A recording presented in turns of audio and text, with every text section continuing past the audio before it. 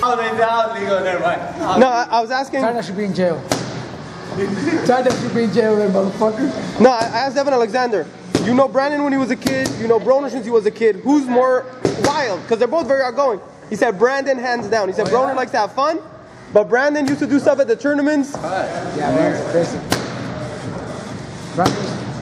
Brandon, Brandon, not only the, at the tournaments, motherfucker as a professional fighter. in the locker rooms. Did you go partying every Tuesday night? Not with Brandon. Not anymore. We went on a Monday night. Hey, how about how about remember when you fought in LA and you guys you you were like the last fight and in the dressing room you start you were sparring? Oh, yeah, I was fighting with you, right? we, we were sparring like Yeah. really like sparring hard, bro. Why? What were you fighting about?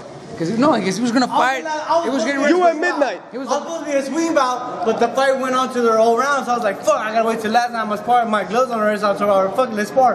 let's warm up. So we started sparring. We started sparring ah, ah, ah. hard. We started But what would it you do if you would have knocked Robert out and you would not have a trainer? If I would have knocked him out. Oh, exactly. Right before his fight. He would knock me out because they can't, they can't knock this shit out. Fuck you.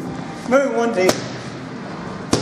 Maybe when I'm my first age, I get knocked out. I could have knocked you out with a body shot. So wait, how many rou- how many rounds of Right? sparring I did could you have go? knocked you out with a body shot. Body shot, terrible. Well, but is that still a knockout? Right? Well, you never knew I had a weak body at that time. No, but I mean it's still. Before I had a weak one, not no more. What, what about Motherfuckers, not no more. I don't got a weak body no more.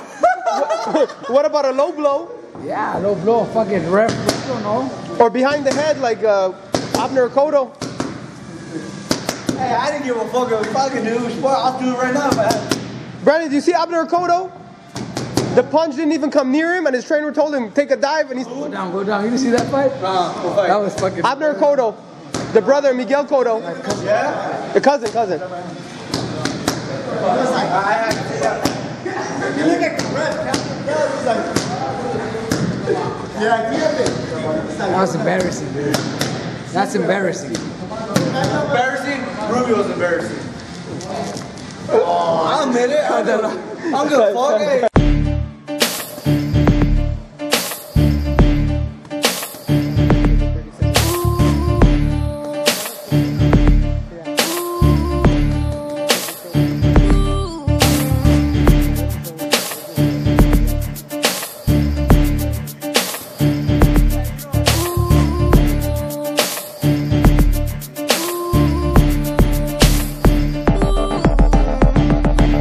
Thank